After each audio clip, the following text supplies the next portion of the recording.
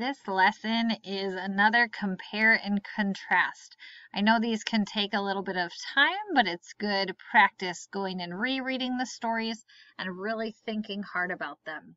So remember, if you need to go back and look at them, there's a link to the stories because it's been a couple of days, so you might need to remind yourself uh, what they were about. Or specifically in this case, what the narrators were like because you are comparing and contrasting the narrators of the two stories. How are the narrators similar? How are they different? Now remember the narrator of the court's decision was Dred Scott, um, a slave in the 1800s. On the picket line, the narrator was a girl called Kathleen Bowen. I believe she was fictional and she was fighting for women's rights. So they were both fighting for their rights. They they lived in different times, 1800s versus early 1900s. They were fighting for different things, being free of slavery and having the right to vote. They were different ages, their families looked different.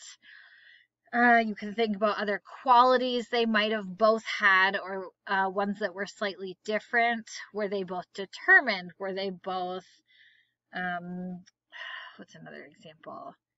Happy all the time? Were they both sad all the time? Were they both hardworking? Uh, I feel like I list the same character traits, but you'll notice a, there are character traits that a lot of um, I guess, heroes of stories or the main characters of stories do have in common. So really think about what the narrators are like, what's the same and what is different. And as always, the more explanation you can give me, the better. Um, think deeply. You can say like young and old, but that's not not what I would love to see from a fifth grader because I think you can be a little more specific and a little more in detail than that. Your word for today is mine.